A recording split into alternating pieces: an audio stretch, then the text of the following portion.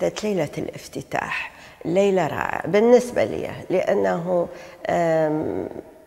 يعني آه، لقائي للناس وحسيت أنه آه، حسوا هذه المعرض من أروع معارضي.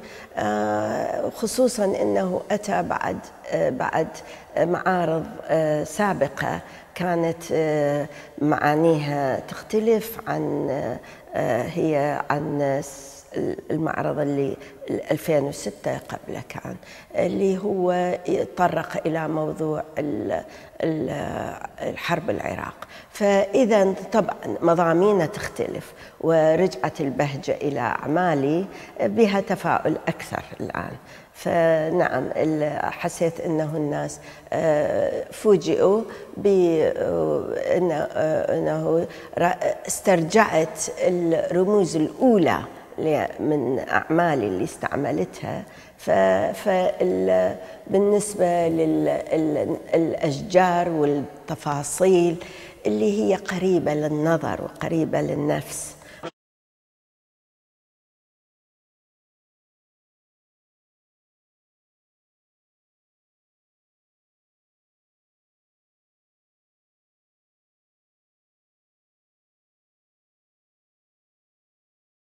الفكرة المعرض هي طرح هو جديد لكن في نفس الوقت له علاقة بأعمالي من من 1971 عملت رسمت شجرة الحياة وبعد كل هذه السنين أحسست أنه هذا الموضوع بودي أن أسترد أبتدئ مرة أخرى.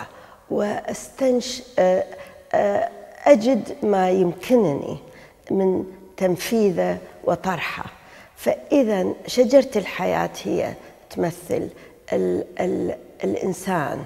تشبث تشبثه بالأرض تشبثه بوطنه هذا اللي ردت أظهره في أعمالي. والفكرة نعم أخذت وقت لكن هو التنفيذ أخذ وقت كثير لأنه كل لوحة بها آه، تكنيك جديد يختلف وكل لوحة تختلف تقريبا عن ال ال ال الأخرى. حتى وصلت إلى 2010 2011 آه، بدأت طرح فكرة الجنة. المعرض مدهش وقليل من الرسامين في الوقت الحاضر. في أوروبا وأمريكا يتمكنون من تحقيق فن بهذا المستوى. هذا مستوى جدا جدا عالي لأنه تمكنت من تحقيق التوازن بين التعقيد والاتساق. وهذه قليل من الفنانين الحديثين حديثين أقصد خلال العشرين سنة الأخيرة تمكنوا من تحقيق هذا الشيء. سعاد في هذا المعرض حققت حققت تمكنت أن تحقق هذا التوازن. شجرة الحياة نعم ابتدأت بشكل هي القوة والصرامة وال والتقريبا الجذور آه الجذور آه بير آه بدون خضار زين؟ ثم النخلة. النخلة الذهبية. ثم نمت إلى الشجيرات والأشجار وال وأنواع آه، من الطيور التي الخيالية. فنعم ممكن أن نقول أنه من شجرة الحياة ثم صارت الجنة.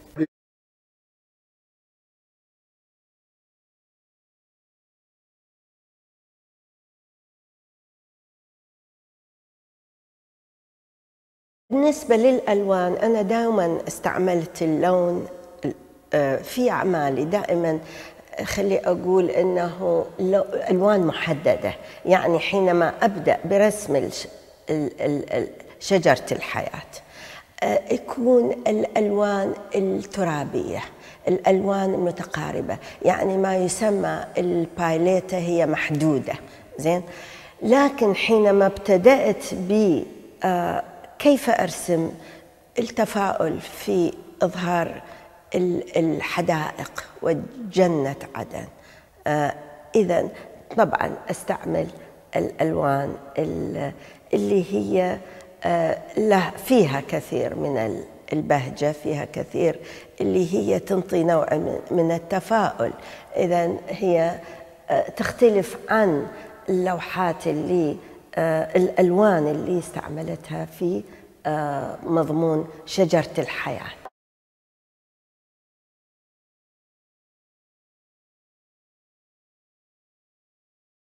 النخلة هو هي رمز. أنا لم أجد هذا الرمز. هذا لو لو تراجع ال ال ال كل تاريخ العراق فمنذ البدايات من السومريين وبالذات الآشوريين. الآشوريين 1500 آه، بي سي. آه، ترى النخلة هي رمز القوة رمز الصلابة رمز البقاء آه، مع الإنسان. فإذا هي استوحيت النخلة. هي النخلة هي جذوري.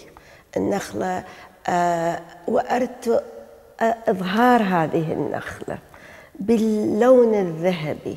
المطعم بها كثير من التفاؤل بها الشموخ بها التفاؤل.